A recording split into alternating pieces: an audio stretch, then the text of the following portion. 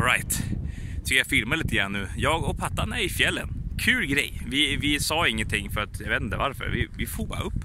Kul grej. Får upp med brorsan också, det var jättetrevligt. Så vi är här och hänger. Och jag tänkte bara filma runt lite grann. För er som har följt mina andra små spontanvloggar. Så jag menar i somras, nu ska se här. Då gick jag upp på berg som inte ens syns nu för det är så alldeles för ljust. Men det är långt, långt där borta. Man ser det inte för det är så, det är så här högt där borta. Men det syns inte överhuvudtaget i bilden ser jag, för det är alldeles vitt. Men där borta, och då har jag gått förbi det berget och det är så här. Uh, det tog 12 timmar att gå fram och tillbaka. det var helt galet. Men det gör man inte på vintern, det är lite jobbigare då. Men det är så coolt för rakt där borta, nu ser ni till och med den stora kullen där. Där var jag nu när jag livestreamade. Det var här borta på andra sidan. Var jag som över kullen där borta. Det var så sjukt nice. det Där tog det nio timmar att gå. Alltså det ser inte så långt ut men alltså det är så galet långt, ni förstår inte.